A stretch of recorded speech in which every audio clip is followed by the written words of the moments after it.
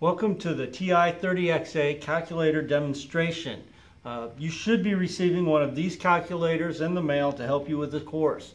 Uh, when you get this calculator, make sure you understand how all the different functions work. We're going to be going over those you're going to need for this class today. Um, the first thing we want to do is uh, convert numbers from regular numbers into scientific and engineering. It's one of the things you have to do in the first week of the course and this calculator is set up to help you do that. What you want to do, let's say we're going to enter uh, 16,500. Okay, this would be a number. Um, they're going to ask you to convert that to scientific notation and then into engineering. The nice thing about it is this calculator will do that for you or help you understand what the correct answer is. So you type in 16,500 just like you would in any calculator. You're basically in the flow section right now. To change it to scientific with this calculator, you'll hit the second button and the 5 because above the 5 you'll see SCI which stands for scientific notation. So hit your second button and then 5 and it puts it into 1.65 and has a 04 here and that 04 means times 10 to the fourth power. So it's 16 1.65 times 10 to the fourth power. That is scientific notation. Again, decimal point between the first two digits and change the exponent to match.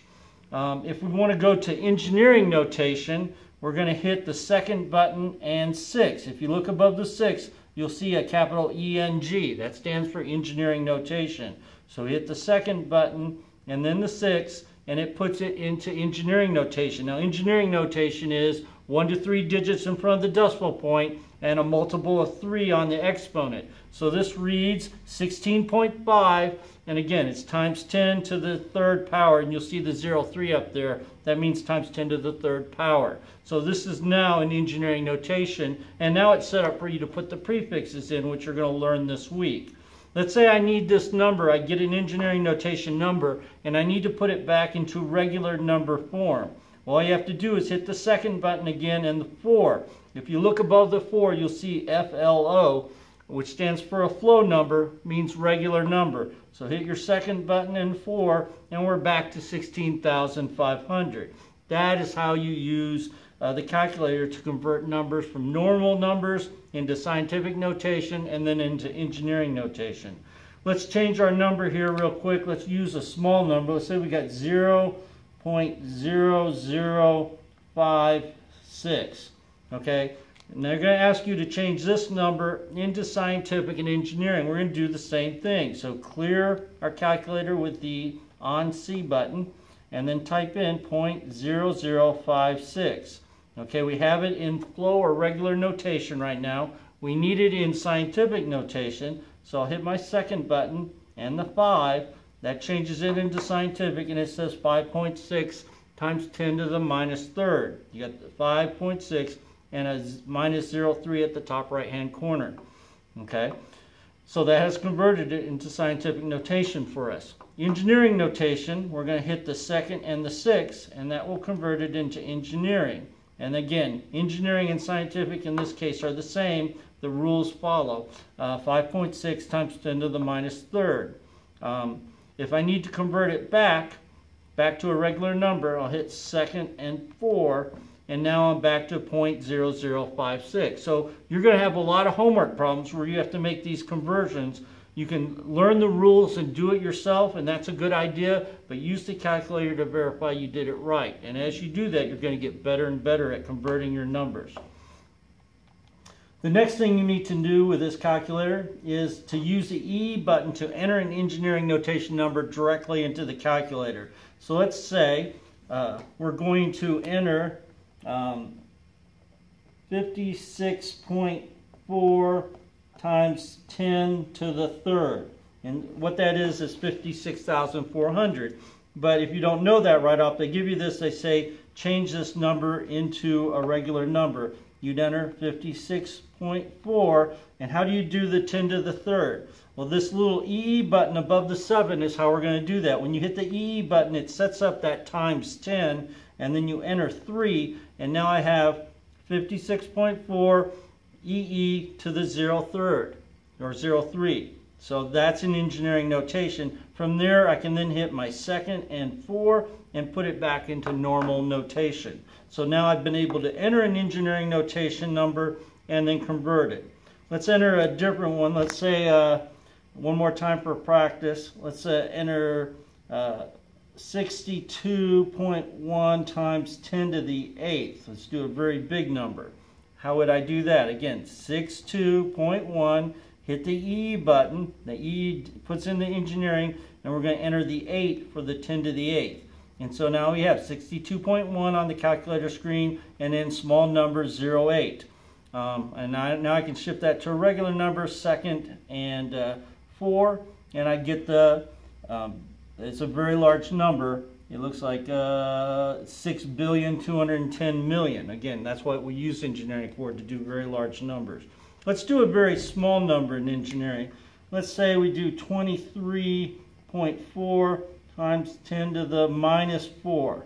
Okay, how would I enter that? Again, the same thing, 23.4, and you're going to hit the EE button and type in the minus 4. There we have, we have it, and if we shift it back to regular number, we get 0.00234. So you're seeing that by using the calculator, I can let the calculator do a lot of the work that I'm required to do in this course, especially week one. So we've learned how to use scientific engineering numbers and convert them from regular numbers, and we use, learned how to use the E button in order to enter an engineering number directly into the calculator. Some of your problems are going to ask you to square numbers. They may even ask you to square engineering numbers. So let's say we got uh, 2.4 times 10 to the minus 2, and they're going to ask you um, to square that. So we'll put a square there. And to square that, you'd have to enter the 2.4 and then hit the E button to put the engineering in, and then minus 2. So we have the 2.4 times 10 to the minus 2, and the square button is 2 above the 8. If you look at the button 2 above the 8, you'll see an X with a small 2 in the upper right hand corner. When you push that, that will square that number, and it gives you 0.000576, which will be the answer. So anytime you need to do a square, anytime you see a little 2 in the upper right hand corner, they're squaring it use that x squared button. Now sometimes they're going to ask you to do a square root. Now square root would be the same as going minus 2, okay? If they go 2.4 times 10 to the minus 2 to the minus 2 power, that would be a square root. We can square root what we just did here by just hitting the button 2 above the 9. That's a square root button, and it will take us back to where we started. Okay? So that's how you do the squares and square roots. Again, they're just two above the 8 and two above the 9. Those will answer those questions. Uh, usually once I've shown someone how to do squares and square roots, that makes it easy for them from that point on.